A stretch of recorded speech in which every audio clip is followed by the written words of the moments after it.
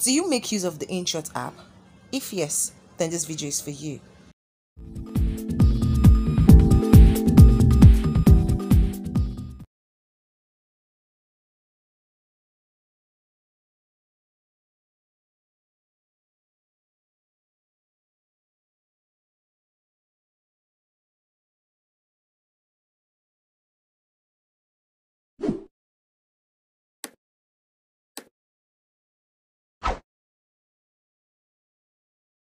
Adding the zoom effect to your videos makes your videos look less boring.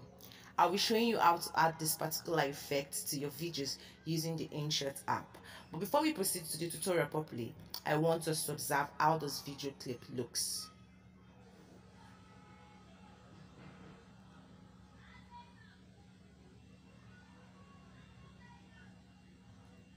Okay, so now let's dive into the tutorial properly. First thing first, we have to divide this clip into three. So to split your clip video clip i would click on the clip then go to trim then click on split. Then this icon i'm going to move to the particular part i want to the split to um, start from to end rather. Once i've done that I, i'm going to make another one. I'll click on the clip go to trim split then this is it. Now if you can notice we now have three different clips. Now to add our zoom effects this is what you have to do. Move this white line to the particular place you want your zoom effects to take place. Once you've done that you click on canvas. Once you've clicked on canvas you pinch in to zoom pinch into zoom. Thing it's let's leave it here. Okay. Now let's watch our video all over again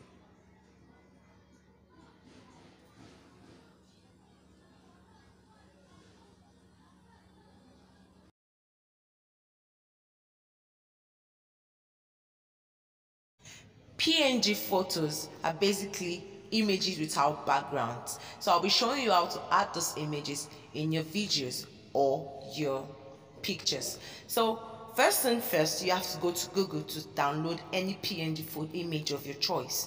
Once you've downloaded it, you come back to your InShot app, then click on stickers.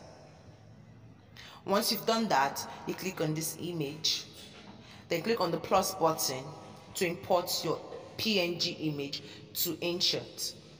So you can you can observe that there's no background in this particular image. So I'm just going to reduce its size and bring it downwards. Once I'm done, once I'm done, I'll click on the image again. Then go to edit to add my transitions. How do I want it to appear in? so I'll just pick on something. Let's say I want this one. Now how do I want it to leave? How do I want it to leave? I'll just pick on this. Now let's observe.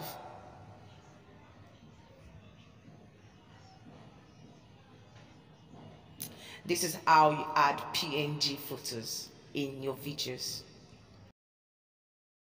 extracting songs from videos using InShot is quite easy. Now let's show you how to do so. Go to music. Then you go to effects. Now once you've done that, you click on my music. Then you click on extract audio from video. You will take into your gallery. Click on the particular image, um, video you want to extract its song. Then you click on the check button it's done that's it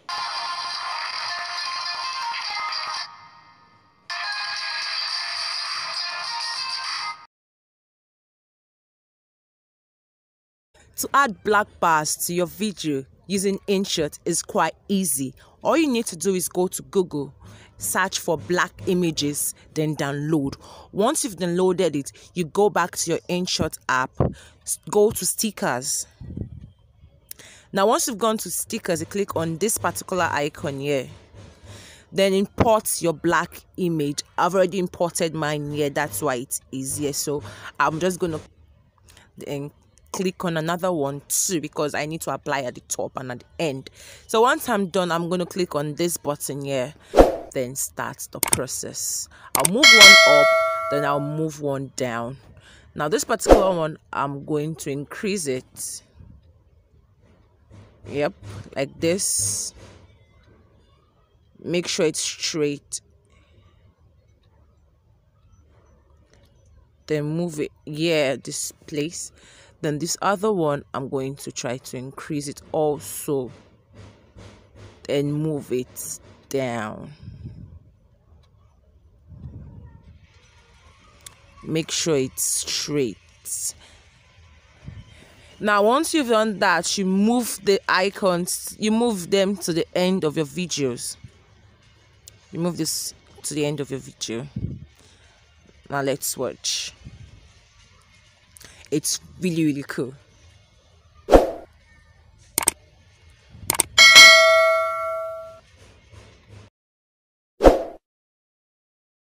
One, two.